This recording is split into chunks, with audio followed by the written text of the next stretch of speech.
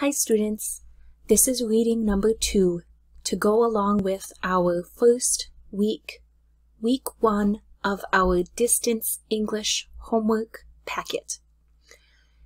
This reading will go along with the afternoon student packet. If you are following along at home with your packet and you realize that your story, the history of the census, doesn't match what I am reading, close this video and go back to reading video number one, which matches the morning class packet.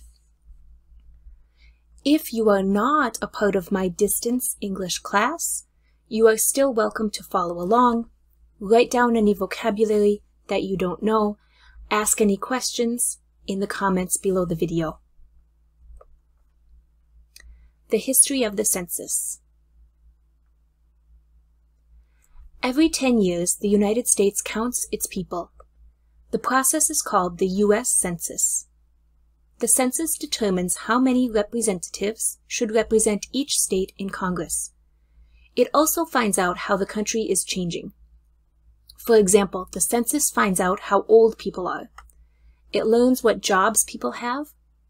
This information helps the government meet people's needs. It also helps leaders plan for the future. The purpose of the census is pretty ordinary, to find out about people. The information it discovers, though, can be surprising. Followers of the Jedi religion. The United Kingdom offers a good example. In 2011, that country asked about the religion of its people. Officials were surprised by one of the answers. More than 170,000 people listed Jedi as their main religion. The problem? Jediism is a religion in the Star Wars movie and television shows.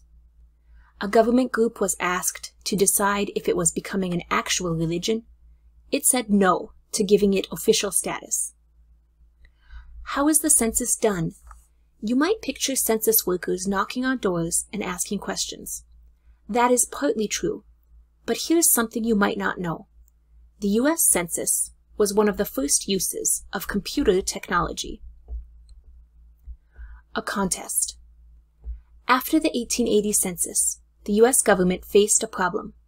It could not keep up with the data it collected. The population was growing too fast and the country was changing rapidly. More people from different backgrounds were living in the United States. The U.S. Census Office needed a better way to process the information. What did they do? They created a contest.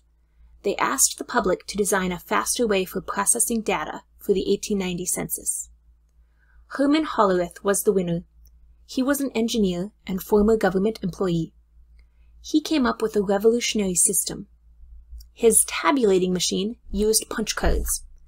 This machine read the holes punched into the cards. It counted them and a clerk recorded the results. Hollerith's machine made it possible to collect more information and process it faster. Many purposes. Today, the U.S. Census serves many purposes. It can even save lives. Preparing for natural disasters is a good example. It helps the government be ready for a big emergency. Census information tells how many people there are and where they live. Emergency teams find that data very useful. Perhaps a neighborhood has a lot of Spanish speakers. Officials will know to send the people who can best help them. A census gives useful details. It shows how the country is changing. It may offer information for planning new schools or hospitals. The census is not just a bunch of numbers. Its numbers tell stories about the people being counted. How was this story for you, students? I hope you found some new vocabulary. As always, leave a note in the comments asking any questions. Um, put some new vocabulary into sentences, and I would be happy to give you feedback on your sentence. Until next time, bye.